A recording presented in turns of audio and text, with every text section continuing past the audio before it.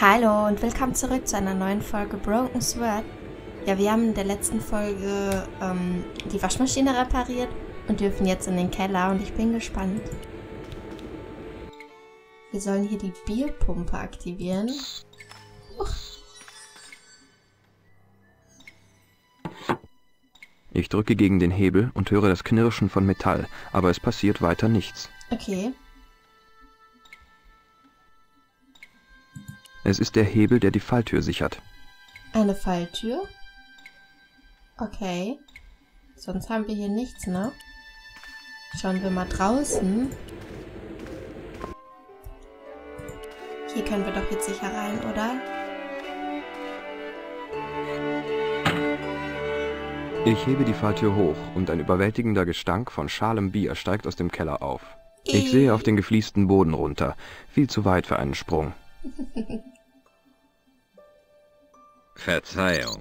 Ich habe so ein flaues Gefühl in der Magengegend. Etwas, was ich normalerweise nur bei Operetten bekomme. Es ist Kahn. Was ist los? Haben Sie gesehen, was hier vor ein paar Minuten passiert ist? Was denn? Ein Mann hatte einen sehr bedauerlichen Unfall. Ich habe nichts gesehen. Und der Junge? Der hat auch nichts gesehen. Der Junge, naja, Sie wissen doch, wie es in diesen ländlichen Gegenden zugeht.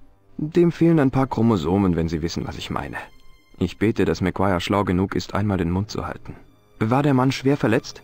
Man hat sich um ihn gekümmert, aber er glaubt, er hat ein Päckchen fallen lassen. Sie haben es nicht zufälligerweise gefunden, oder? Nein, und ansonsten hätte ich es zur Polizei gebracht. Natürlich. Danke. Was für ein schmieriger Kerl, oder? Ähm. Nächste Seite. Ich habe Kahn getroffen, von Angesicht zu Angesicht. Er kam direkt zu mir und fragte wegen dem Unfall. Er suchte nach etwas. Der Edelstein muss in Fitzgeralds Paket gewesen sein. Jetzt muss ich es nur noch finden. Dann suchen wir es mal und vielleicht haben wir ja Glück, dass es hier nach unten gefallen ist. Können wir hiermit was machen? Es ist unmöglich, den Schalter wieder in die Okay. frühere Stellung zu bringen. Gut, aber runter können wir hier nicht, oder?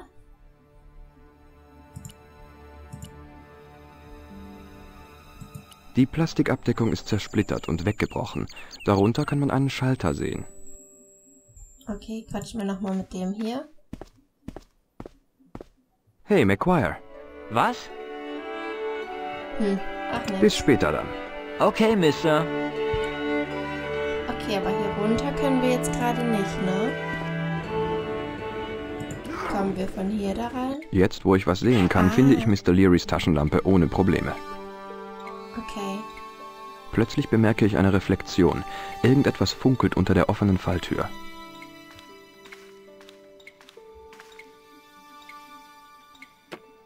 Es ist tatsächlich Pegrams Edelstein. Ein großer, ungeschliffener blauer Stein. Ich denke, er hat mich bereits in seinen Bann geschlagen. Haben Sie es gefunden? Was? Das, was Sie gesucht haben. Ähm, ja. Hör zu, McQuire.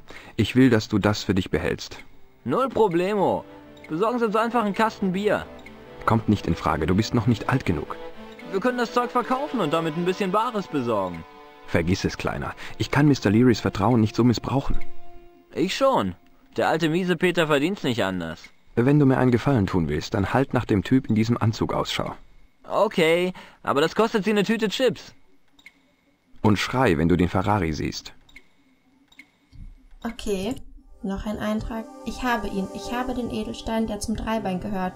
Jetzt muss ich nur noch herausfinden, was ich damit tun muss. Ja. Es wäre nicht schlecht zu wissen. Oh, der Wasserhahn tropft hier die ganze Zeit. Gucken wir uns den mal an. Der Wasserhahn knarrt, hustet und spuckt einen Strom von rostfarbenem Wasser aus. Bäh. Ich drehe den Wasserhahn so fest zu, wie es nur geht, Ah. aber er tropft weiter. Okay. Der Wasserhahn knarrt, Mhm. hustet und spuckt einen Strom von rostfarbenem Wasser aus. Dann können wir doch bestimmt unser Handtuch damit nass machen.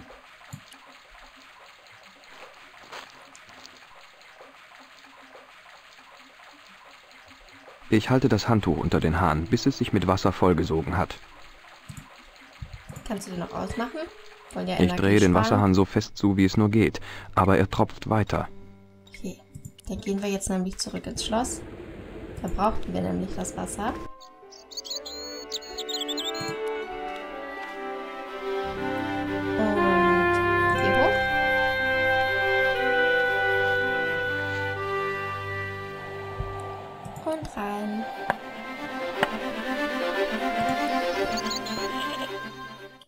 Hier brauchten wir das nämlich. Mhm und schnell den nassen, das nasse Tuch drüber.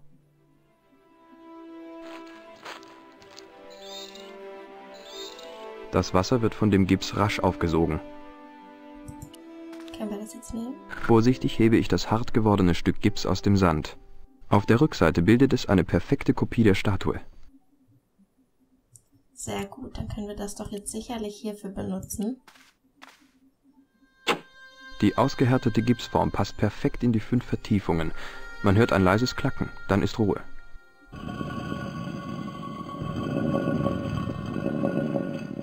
Oh, das Geräusch erinnert mich gerade an eine Baby Blocksberg Folge. Als Kind habe ich das auf Video immer total gerne geguckt und es gibt eine, wo sie und ihre Freundin nicht doch Moni, die mit den schwarzen Haaren. Da sind die in so einem Schloss und wollen dann Prinzessinnen sein und Bibi hext sie dann als Prinzessinnen. Und dann kommt auch so ein Geräusch, weil die hinter so eine Tür schlüpfen. Ach, das ist toll.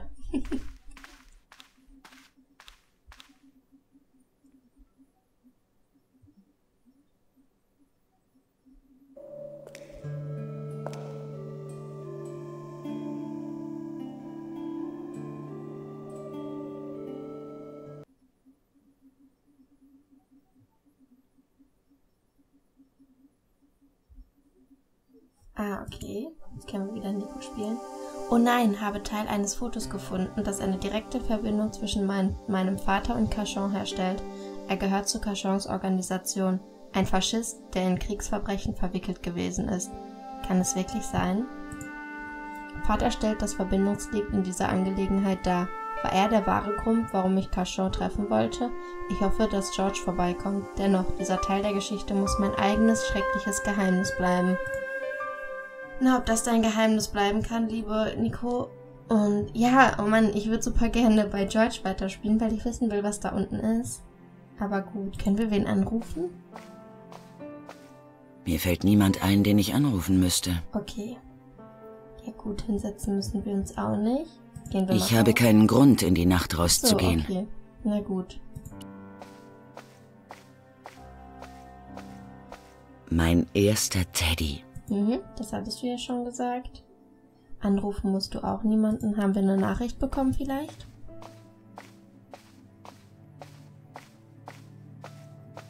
Jemand hat mir auf den Anrufbeantworter gesprochen. Sie haben drei neue Nachrichten. Hey, Kolar, ich bin's, dein Lieblingsredakteur. Rate mal, warum ich anrufe. Ich geb dir noch eine Chance. Ich brauche jemanden, der die Fernsehspalte schreibt. Wird mies bezahlt, aber das kennst du ja. Wenn du Interesse hast, schau mal hier im Büro rein. Oder schau besser auf jeden Fall mal rein. Wir müssen uns mal unterhalten, Nico. Diese Story von dir, die ich abgeblockt habe, die ist noch nicht vom Tisch. Du hast dir da draußen ein paar gefährliche Feinde gemacht. Hallo Nico, ich bin's, dein alter oder eher dein neuer Kumpel George. Boah, Irland ist wirklich ein abgefahrenes Land. Und ich habe auch tolle Neuigkeiten für dich. Eine Riesenstory genauer gesagt. Oh, ich muss los. So ein Typ hier will mir unbedingt einen ausgeben. Also bis morgen, Nico. Slan. Da staunst du was? Erst einen Tag hier und schon spreche ich Gälisch wie ein Eingeborener. Mademoiselle Collard, hier spricht Imelda Carchon. Ich wollte mich noch einmal für Ihr Verständnis bedanken, als hätten Sie nicht Lust zum Essen vorbeizukommen. Morgen? Ich habe Ihnen viel zu erzählen. Heute Abend kommt mich ein Monsieur Merlin besuchen. Er behauptet zu wissen, warum Pierre ermordet wurde. Er müsste gleich hier sein. Ich werde Ihnen dann erzählen, was er gesagt hat. Leben Sie wohl, meine Liebe. Bis morgen. Merlin? Meine Güte, Merlin ist doch der Killer. Ich muss sofort hinfahren und sie warnen. Wenn es für Doppelzüngigkeit Orden gäbe, würde Imelda vom Gewicht der Dinger vornüber kippen. Und ich schulde ihr nichts. Aber ich kann sie doch nicht einfach sterben lassen. Nein, das können wir auf gar keinen Fall. Bei meinem Eintreffen ist der Hof des Palais Royal verlassen. Ich kann nur hoffen, dass ich den Mörder hier erwische. Ich muss Imelda warnen, bevor es zu spät ist. Was mich gerade wundert ist, wir haben doch Khan gerade in Irland gesehen. Also das ist ja hier derselbe Abend. Ist er so schnell wieder zurück nach Paris geflogen? Ich kann es mir ehrlich gesagt nicht vorstellen. Aber okay, haben wir noch einen. Ah ja, Palais Royal, Imelda in Gefahr. Drei Nachrichten auf dem Anrufbeantworter. Mein Verleger war sehr besorgt über meine Geschichte und George rief aus Irland an. Betrunken. Endlich auch Imelda Cachon. Sie sagte, dass ein Mann namens Moelin sie heute Abend besucht. Das ist Kahn, der Kostümmörder. Sie schwebt in schrecklicher Gefahr. Ich muss sie warnen. Sitzt bombenfest. Möglicherweise um Kritiker daran zu hindern, etwas mitgehen zu lassen. Wer sollte sowas sonst tun? Hier haben wir auch noch was, oder?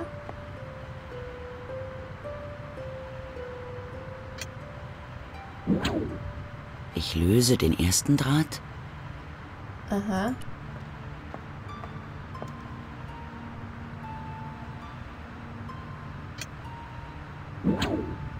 Ich löse den zweiten Draht. Selbst als beide Drähte entfernt sind, bleibt die Statue stehen.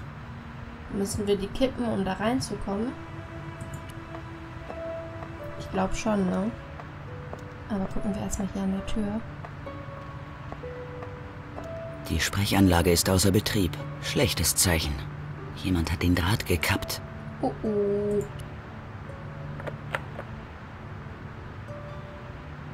Hm, abgeschlossen. Durch so eine Tür komme ich nicht durch. Hey, jetzt wird's ganz schön aufregend hier in Paris. Die Geschichte nimmt so langsam richtig Fahrt an.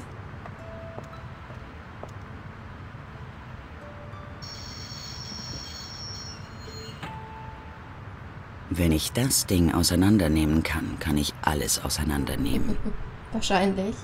Dann mal hoch da.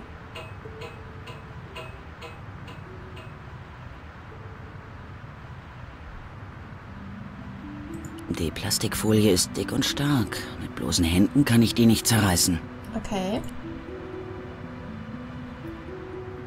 Wir haben ja eine Menge im Inventar. Äh, nein. Okay, der Schlüssel war es nicht. Die Haarspange. Äh, Na, nein. das hier. Mhm.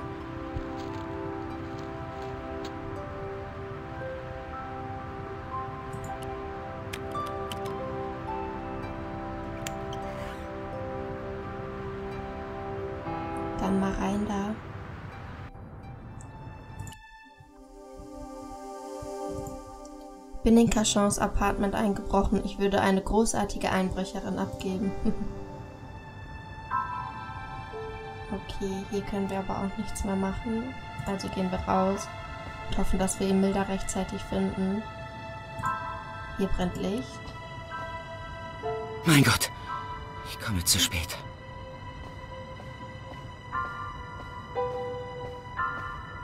Imelda! Oh nein. Nico, Keine Bange. Das kommt schon in Ordnung. du weißt, dass das nicht stimmt. Es war Merlin, nicht wahr? Gekleidet wie ein Edelmann. Wie absurd. Du bist gekommen, um mich zu warnen, nicht wahr? Ich muss verrückt sein. Lass dich ansehen, Nicole. Die ganze Zeit haben sie mich nur benutzt. Wer ist die wahre Imelda? Du bist ein außergewöhnliches Mädchen. Thierry wäre stolz auf dich. Sie kannten meinen Vater doch gar nicht. Du bist wie er. Vor allem die Augen. Ich wünschte, wir hätten mehr Zeit, um einander kennenzulernen. Hm? Sie ist tot. Sie hat mich belogen, betrogen und benutzt. Aber warum? Okay. Jetzt ist also Imelda an der Reihe gewesen. Ein weiterer Mord des Kostümmörders. Mualin oder Khan, diesmal als Edelmann verkleidet. Die Polizei wird die Angelegenheit nicht untersuchen. Sie werden es vertuschen, so wie all die anderen Morde. Selbst im Tode sieht Imelda unverändert aus. Schön, rätselhaft. Die Eiskönigin allein in ihrem Eispalast. Und mit einem riesigen Kinn. Ich öffne es. Es enthält einen kleinen goldenen Schlüssel. Ich nehme den Schlüssel. Ich muss gehen. Ich weiß, dass ich nie wiederkommen werde. Okay.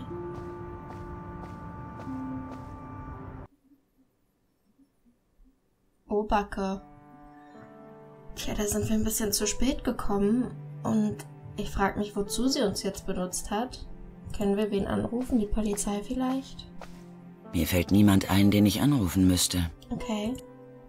Das ist der Schlüssel aus Imheldas Medaillon. Können wir den vielleicht mit der Schatulle benutzen, die wir von unserem Vater bekommen haben?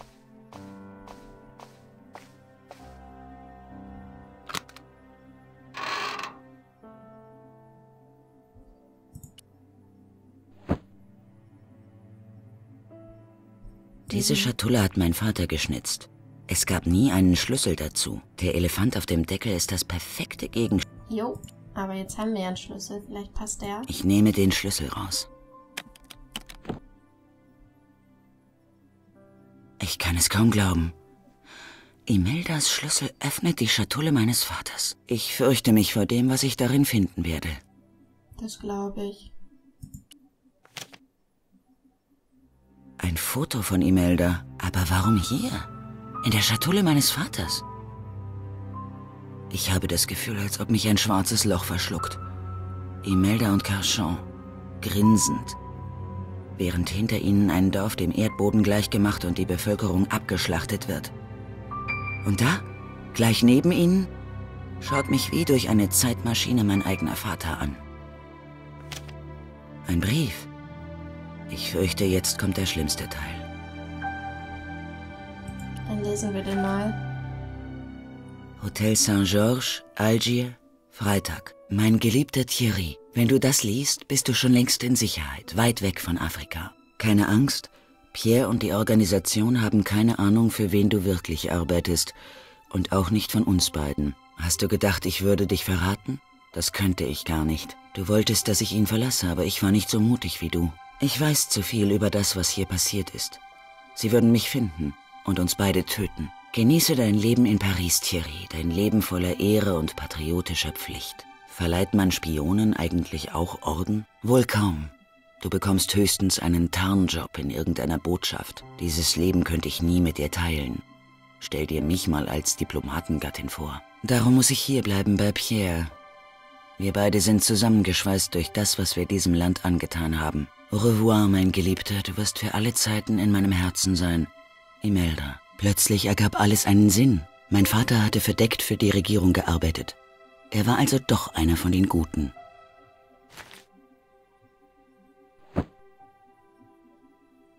Er und Imelda müssen sich ineinander verliebt haben.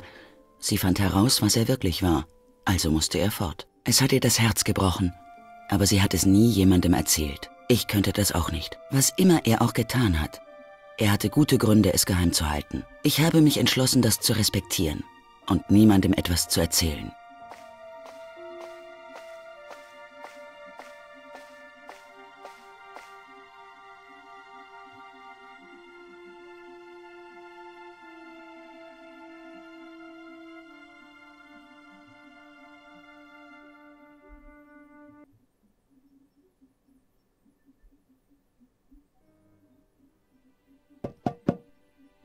Das ist George.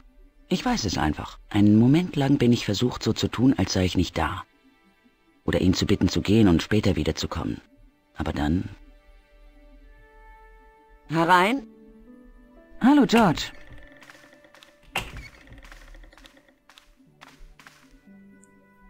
Wo bist du denn letzte Nacht gewesen? Bei McDavids. Ich habe mit Doyle und einigen anderen Burschen etwas getrunken.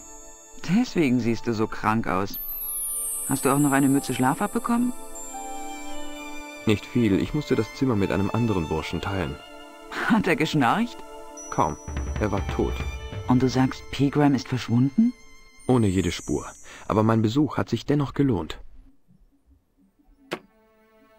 Pegrams Edelstein. Der Edelstein der Templer. Wer auch immer Jacques Marquet ist, auf ihn wartet eine Enttäuschung. Jacques Marquet? Er hätte den Edelstein von Fitzgerald abholen sollen. Was hast du für Pläne? Ich möchte herausfinden, wer, was oder wo Maupassant war. Alles, wonach ich mich richten kann, ist der Name und das Bild eines erhängten Mannes. Okay. Schauen wir uns die Schriftrolle nochmal an. So, das hier haben wir ja Da ist gefunden, ein Typ ne? mit Schwert und einem Stier. Zwischen ihnen steht ein Edelstein auf einem Dreibein. Da arbeitet jemand an einem Web. Mhm. Schau, Aber das, Dass man das immer anklicken muss, An- auf man durch. was hast du für Pläne? ich möchte herausfinden, wer, was oder wo Maupassant war. Alles, wonach ich mich richten kann, ist der Name und das Bild eines erhängten Mannes. Okay. Ich würde sagen, es geht in der nächsten Folge weiter. Ist ja echt eine Menge passiert in dieser Folge. Imelda ist gestorben und Nico hat herausgefunden, dass ihr Vater doch einer der Guten war. Jetzt überlegt mal, ihr spioniert die Leute nur aus und seid dann in so einem Land und müsst für ein Foto posieren, während hinter euch Leute umgebracht werden und ihr seid eigentlich absolut dagegen und müsst trotzdem irgendwie so tun, als wäre alles in Ordnung. Boah, ich stelle mir das so schrecklich vor. Aber gut. Vielen Dank fürs Zuschauen und bis zum nächsten Mal. Tschüss!